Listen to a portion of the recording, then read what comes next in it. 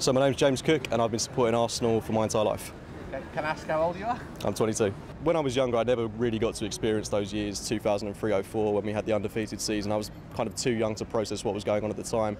But now I've lived through and I've really heavily experienced those years where it has been a bit tough. But I do think we have to give credit and admiration to Arsene Wenger. Let's not forget, in his final couple of seasons, he did win three FA Cups. He did do some fantastic work. It's just these past two seasons where we finished outside the Champions League where I think really a lot of fans did start to realise that it was time for him to go. The board came to that decision as well. Seeing the same predictable team lineups again and again, seeing the same style of play, seeing a manager that was so stubborn to not change things in games, to have such a stubborn attitude towards the end was really frustrating. But on the other hand, I was really sad to see a man that I really do look up to as a great human being. He is a really, he's a philosopher. He's a legend at this club, and to see him be treated in the way that he was by certain sections of our supporters was quite damaging towards the end. And it's not, uh, it's not nice to you know see some of the chants that were going towards his name.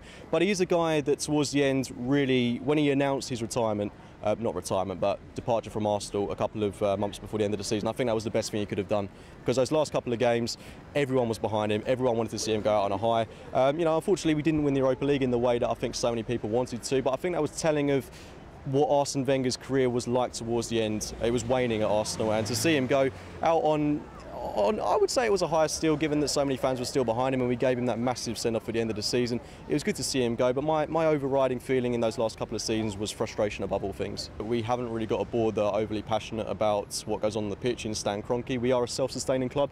Um, that's been made evident in the past couple of weeks and I think that's a great way to be. My, myself, I'm really passionate about that and I like to see a club that does things in the right way, doesn't necessarily chuck money at the wall. But we are in an era of football now where clubs like Manchester City, Chelsea, we know they've done it for over a decade now, are spending millions upon millions upon millions.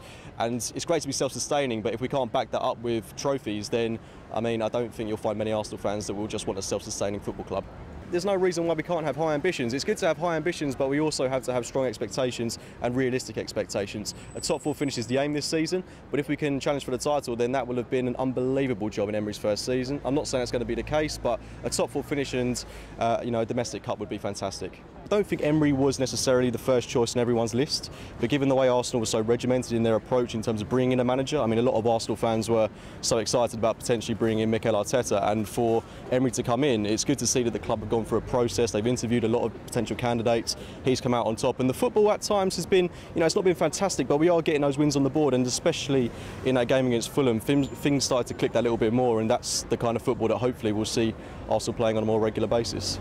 I think it's important to note that it's not just Emery that's changed the team, it's the whole structure at Arsenal. Arsene Wenger was a manager and now we've got a head coach. So Emery's coming as a head coach and his sole responsibility at Arsenal is to focus on the football. We've got Raul Sanllehi who's in charge of contracts and has recently been promoted following Ivan Gazidis' move to AC Milan.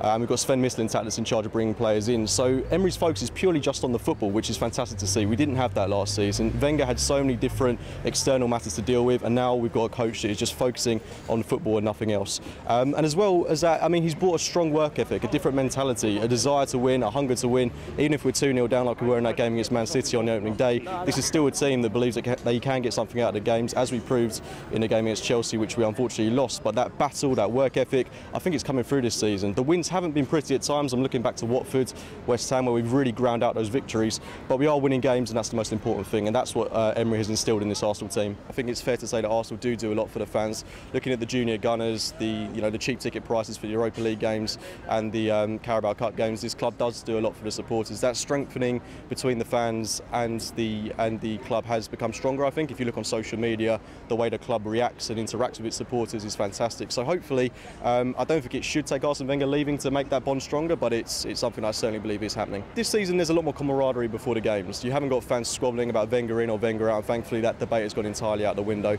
There's a lot more excitement, a lot more buzz around the fans, and you know I think people are generally a lot more excited to come to Arsenal games. Been a season to get hold of myself. I'm delighted to be coming to every single Arsenal home game this season, and I think that goes for a lot of Arsenal supporters. Last season, we'd go to games, and I think we'd know what to expect. This season, we're going into an Arsenal game, and we have no idea what we're going to get from the match.